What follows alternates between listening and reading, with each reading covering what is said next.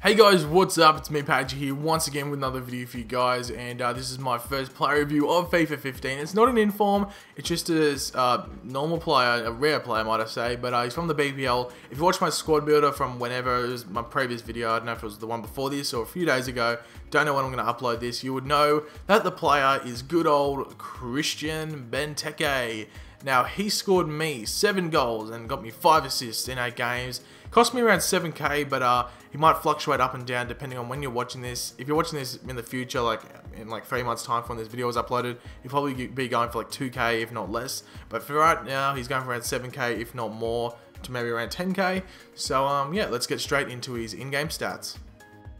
So anyway, looking at Benteke's in-game stats, he's got 79 acceleration, 81 jumping, 81 sprint speed, 92 strength, and 80 aggression with 81 uh, attack positioning. He's also got 82 finishing, 84 heading accuracy, 76 long shot, 81 penalties, 85 shot power, and 72 volleys as well.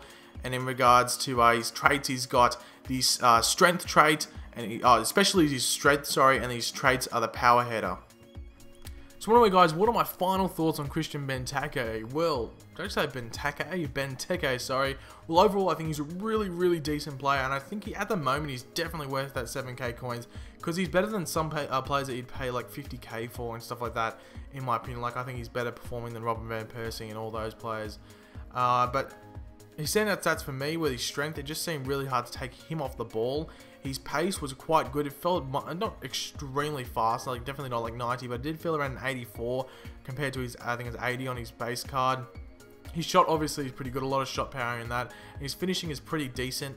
And uh, he does win the decent amount of headers, but the thing is, goalies are pretty smart in this game, and they can pick out a header. It's not like in FIFA 14 where they like sort of shit themselves and fall to the floor as if like a fire had started. Like they do try and actually grab the headers or try and at least get a touch to them to knock them over the bar. So his heading is pretty good. So if he does get, a, obviously he's got the power header trait. So if he does manage to get his head on it, it's going to go pretty fast. But uh, most of the keepers that are coming up against, sorry, have been able to stop them.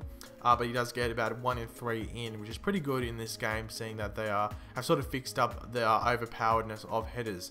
So definitely pick him up. He's 7k as I said at the moment. Well, I bought him for that. He might be around 10k or something when you're watching this video. Or he might have dropped down to like 2k. It matters when you're watching this video. But thanks for watching, guys. If you leave a like, it'd be very much appreciated. And um, yeah, I'll catch you later, guys. Goodbye.